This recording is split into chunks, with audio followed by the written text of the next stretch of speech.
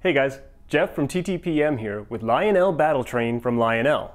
The company that has been creating toy trains for over 100 years has a mobile game that combines classic Lionel trains with futuristic robocars in a story-driven adventure. Players start off with a locomotive and boxcar and hit the rails for a series of missions that take place on railroad lines. Successfully completing missions will reward players with coins that can then be used to upgrade the trains and add additional boxcars. Those boxcars also have room for weapons, which can also be upgraded as the game goes on.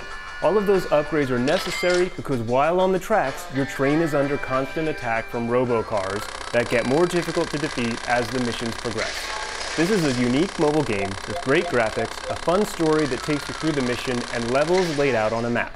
The levels are relatively short, which keeps players coming back for more. The game is for kids ages 9 and up, but we think kids as young as 7 should be okay to play. We also think this has the potential to appeal to adults and will be a game that parents will enjoy as much as their kids. The game is available now for iOS devices, so check it out. And for more reviews, including more apps and mobile games, check us out at TTPM or our free app, Shop for Kids by TimeToPlayMag.com.